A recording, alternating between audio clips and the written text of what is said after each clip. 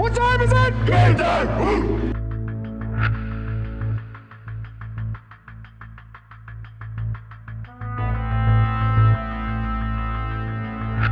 17 seconds. 17 seconds from game seven or from championship number six. Jordan open.